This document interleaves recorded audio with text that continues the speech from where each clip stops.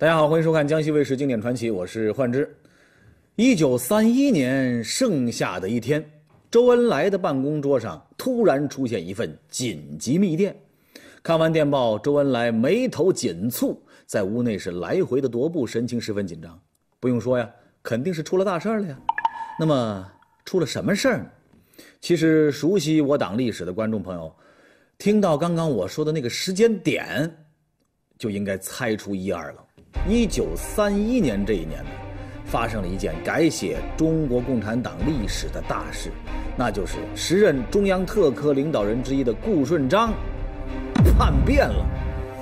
作为当时周恩来的副手之一，顾顺章不仅掌握了当时中共地下整个的情报网络，还了解很多中共重要领导人的藏身之地，因而他也被很多人称为是中共历史上最危险的叛徒。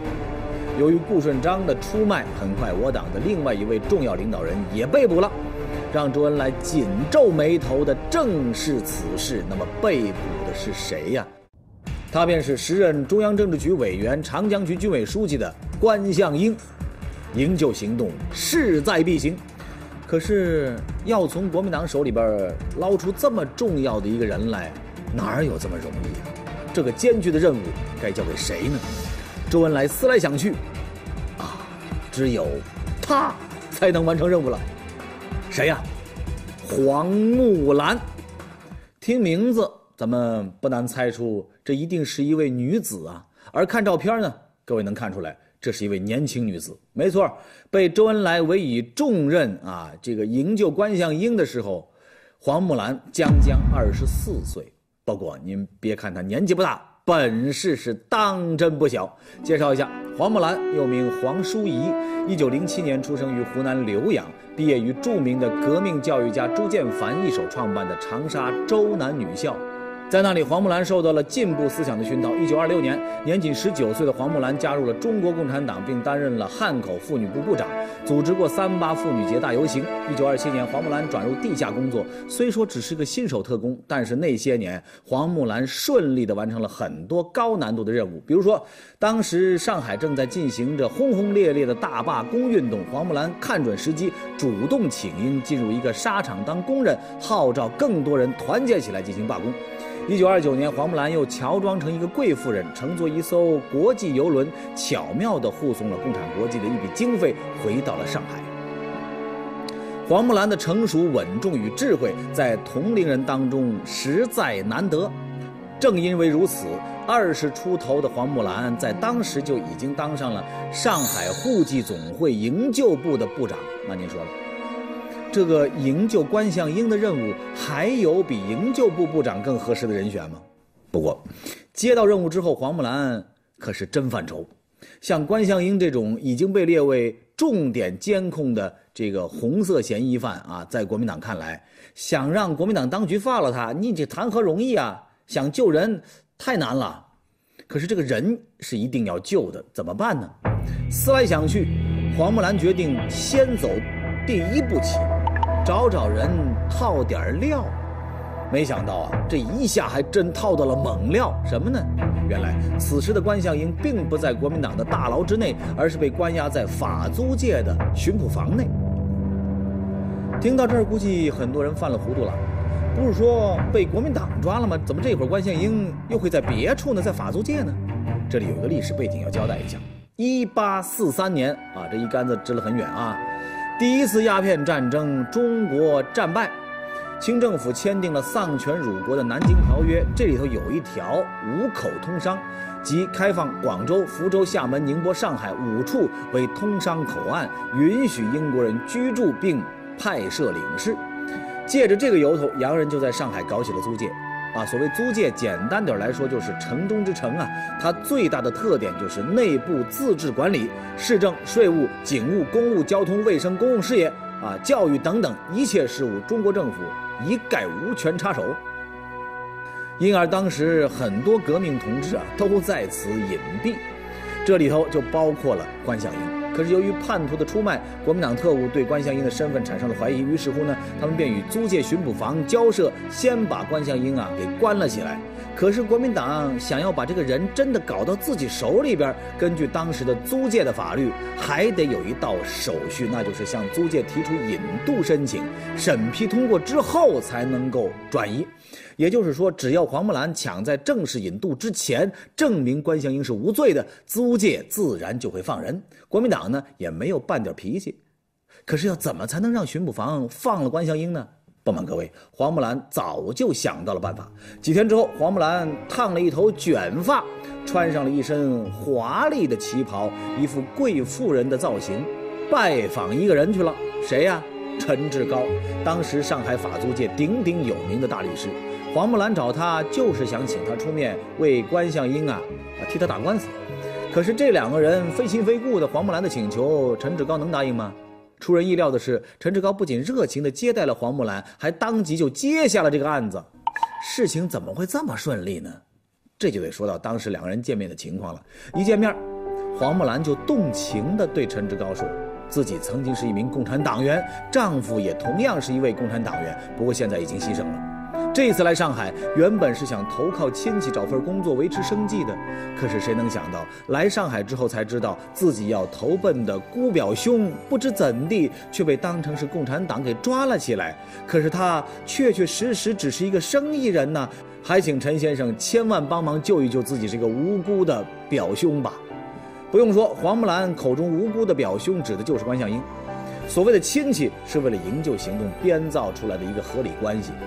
那自己来投靠亲戚一说，当然也是为了让一切啊变得更加合理嘛。那么这些都很好理解哈。可是让人费解的是，就是黄木兰开口说的这第一句话，她为什么上来就要提及自己共产党员的身份呢？要知道，在当时暗流涌动的上海滩，随便和陌生人提起这个特殊身份，哪怕是啊曾经是，那也有很有可能给自己惹来大麻烦呢。黄木兰作为潜伏在上海多时的老特工了，怎么会不明白这一点呢？他之所以这样说，当然是有原因的。咱们下节分析。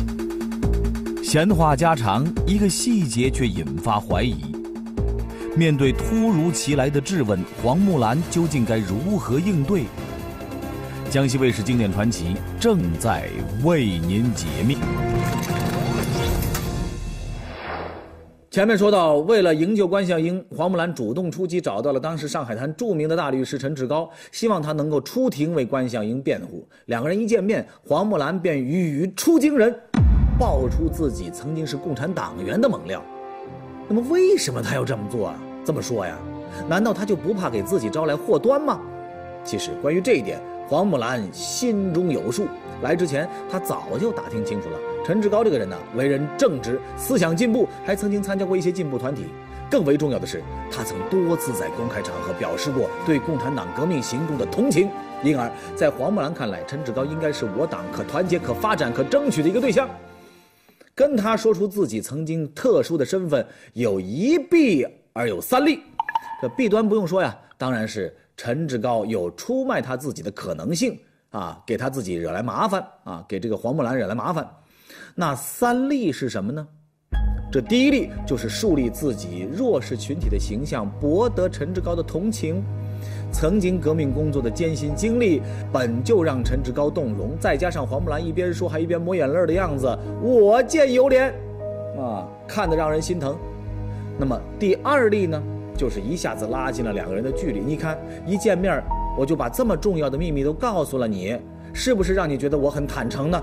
啊？是不是让你觉得你被我信任了呢？是不是？那么两个人的关系可不就近了吗？那么陈志高答应帮忙的可能性不就更大吗？当然，最重要的是第三例，把要营救的关向英的身份洗白，啊，自己曾经是共产党员的猛料啊，那都大大方方说了，陈志高自然就不会想到黄木兰还会隐瞒别人的身份，脑子真是转得多啊！那么。这一下，关向英只是商人的身份，不就坐实了吗？所以说，黄木兰看似大胆的发言，其实暗藏着玄机啊！说是字字珠玑都不为过，而且还真是立竿见影，是立马见效。不出黄木兰所料，一听完这段话，陈志高真是被打动了，当即表示自己愿意出手帮忙。不仅如此，他还主动提出啊，要带黄木兰见自己的父亲，让他也帮忙想想办法。一听这话，黄木兰是喜出望外。要知道，陈老太爷，那当时上海滩司法界了不起的大人物。黄木兰来之前早就做过功课了。陈老太爷曾经在法租界做了十八年的公审刑庭庭长，不仅救过孙中山先生同盟会的老会员，而且还曾经帮过当时黑帮三大头脑杜月笙、张啸林、黄金荣。可以说，这陈老太爷在上海滩那是黑白通吃，没有人敢不给面子。如果真的能够请动陈老太爷这营救关向英的话，基本上这事儿把握就越来越大了。啊，对于黄木兰来说，这个是一次难得的机会，她必须牢牢抓住。很快，在陈志高的安排之下，黄木兰正式登门拜访了陈老太爷。让黄木兰有些意外的是，一见面啊，这位曾经叱咤风云的大人物，一点架子都没有啊。当然了，其实真正的大人物都没什么架子啊，这拿腔拿调的都是小萝卜头啊。当时陈老太爷不仅没有架子啊，相反还十分的热情，甚至主动向他打听起案情来。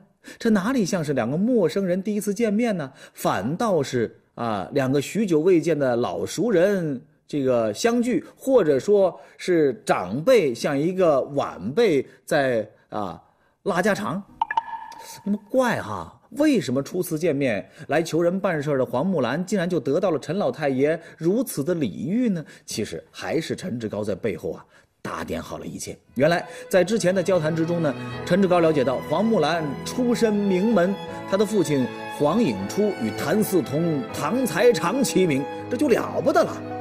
是旧民主主义革命时期著名的留洋三杰之一，曾与谭嗣同一起整理过《人学》一书，还支持过维新变法运动。陈志高知道自己父亲一向很钦佩谭嗣同的为人，因此安排见面，特意把黄木兰的身世和经历告诉了父亲。果不其然，了解了这些之后，陈老太爷啊还没有见到黄木兰，对他就先有了几分欣赏。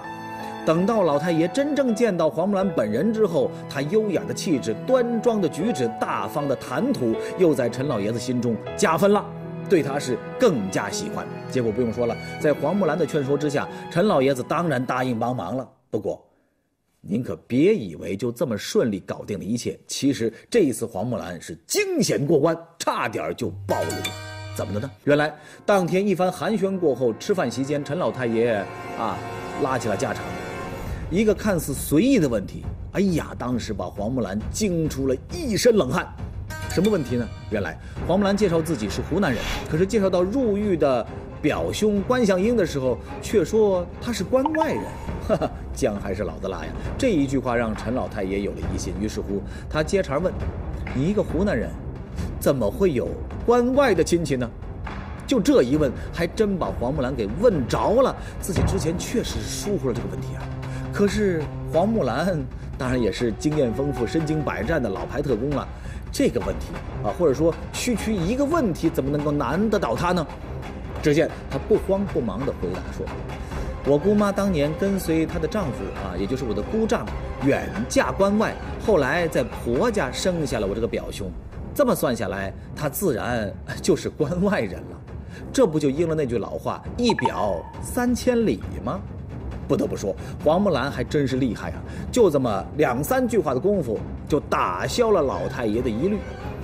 既然没有疑问了啊，那接下来当然是安排救人了。一边，陈志高作为关向英的代表律师提起诉讼，要求尽快放人；另一边，陈老太爷则私下约见了负责审理此案的法官，在家里摆起了鸿门宴。那么，同时还让自己的儿子陈志高和黄木兰一同作陪啊。当时。当天在饭桌上，陈老太爷向法官大发脾气，生气地说：“听说啊，这位黄小姐的表兄来上海做生意，怎么就被你们当成是共产党给抓起来了呢？你们有证据吗？”啊，普通法官哪见过这个阵势啊？赶紧连忙站起来：“哎呦，没没没没没什么证据，他自己也说是个经商的啊。”一听这话，陈老太爷更是来气了啊，继续向法官施压：“你这个案子是我儿子志高办的，既然没什么问题，就放了吧。”说的这个法官呢，是一个劲儿点头：“嗯，好，嗯呐，不敢吭声。”有了老太爷撑腰，事情果然是好办了很多。关向英的商人身份很快就坐实了，接下来呢，只需要办一点手续就能够保释出来。然而，一波未平，是一波又起。就在这个等待的过程当中，黄木兰意外接到一个紧急任务。这一次，这个任务更为重大了，因为它直接关乎着我党重要领导人周恩来的生死啊！这又是怎么回事？一天下午，黄木兰与陈志高相约在一家咖啡馆交流观乡。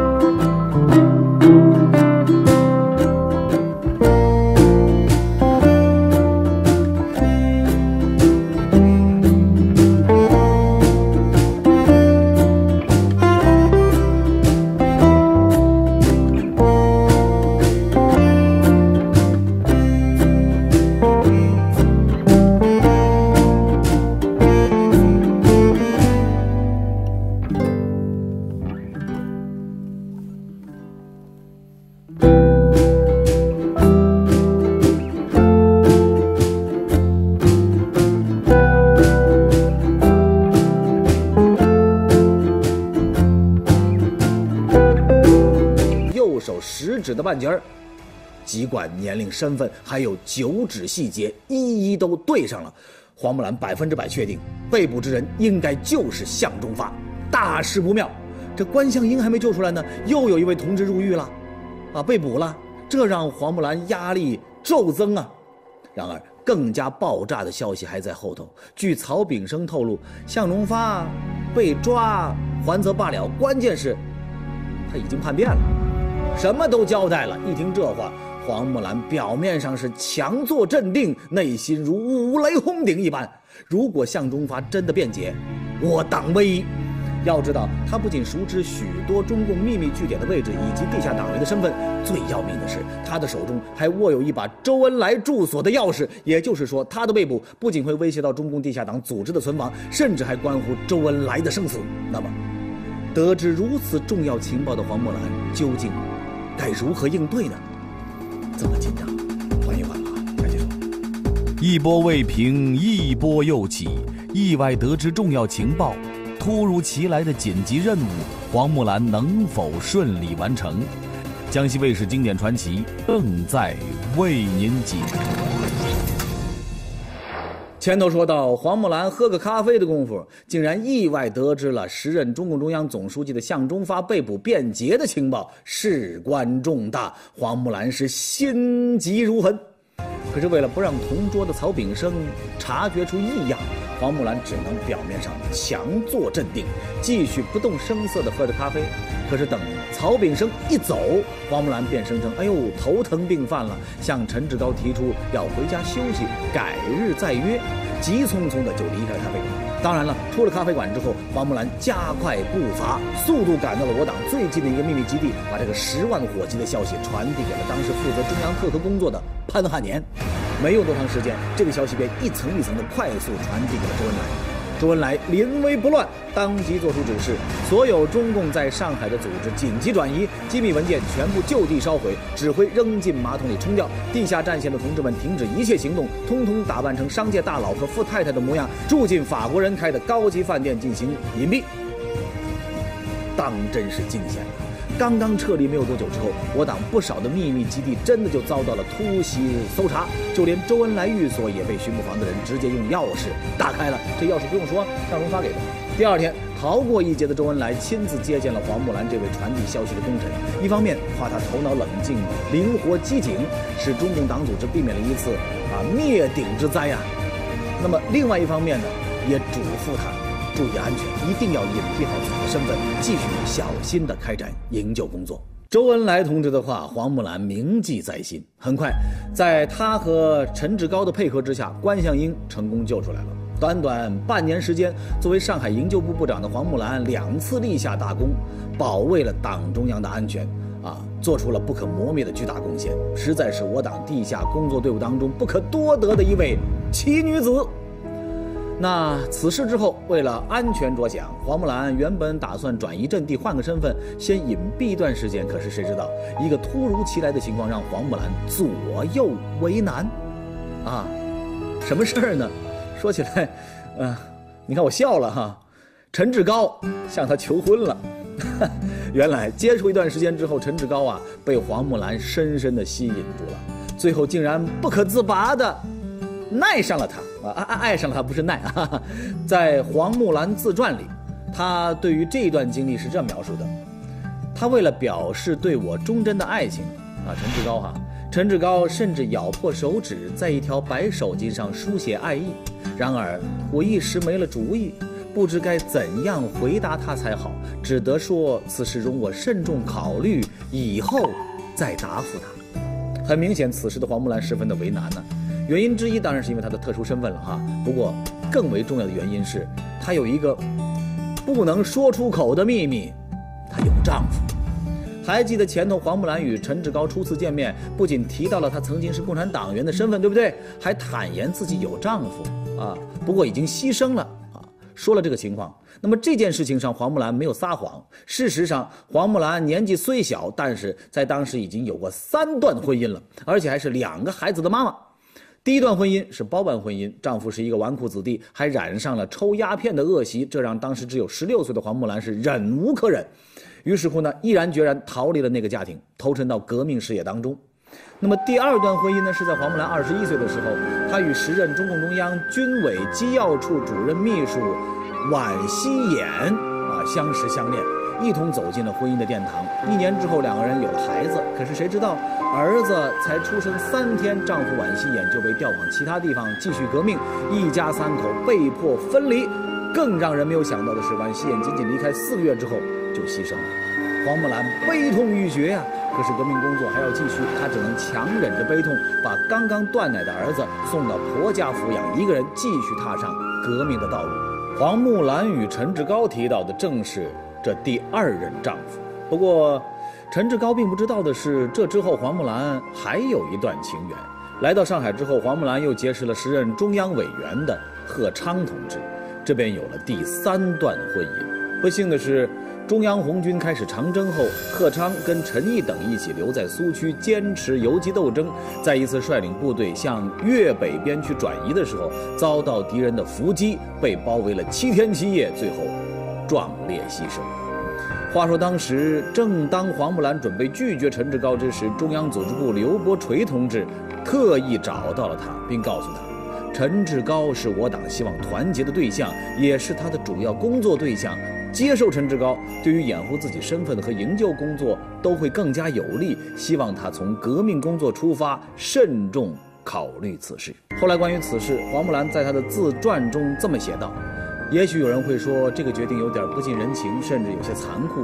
但在任何时候，特别是战争年代，一个真正的共产党员都会毫无保留地把自己的一切献给党的事业。一九三五年五月，黄木兰和陈志高举行了盛大的婚礼。这张照片就是他们婚礼时的留影。婚后，黄木兰一方面继续拜托自己的丈夫陈志高营救被关押的共产党人，另外一方面呢，她也在陈志高的帮助之下有了一个崭新的身份。通义公司的常务董事兼副总经理，而黄木兰的办公室呢，则成为了我党的一个秘密据点，里头有一个隐蔽的楼梯通往一间印刷室，毛泽东的《论持久战》、抗日救亡刊物文献，每日易报等等都在这里印发出去，为我党的抗战宣传做出了卓越的贡献。到了后来，整个通义公司几乎成为了上海党组织活动的大后方，这其中功劳最大的当属黄木兰。